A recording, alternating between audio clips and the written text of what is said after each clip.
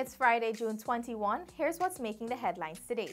Calls for fresh house-to-house registration echo from State and Foreign Affairs Minister, WFC Chair, young professionals and other government supporters. Youths also joined in the call for free and fair elections. All clear given, import tax VAT exemptions for persons with disabilities.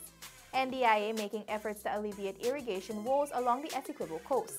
Guyanese are being invited to once again explore, eat, repeat as Guyana Restaurant Week starts today. GPL accesses $5.2 billion IDB loan to construct transmission line. $1 million bridge commissioned in Wakapau Region 2. And on Small Business in Focus, blind self-made manufacturer committed to producing easy-to-use products. Get the details on InfoHub and subscribe to our website, dpi.gov.gy for more stories and follow us on social media.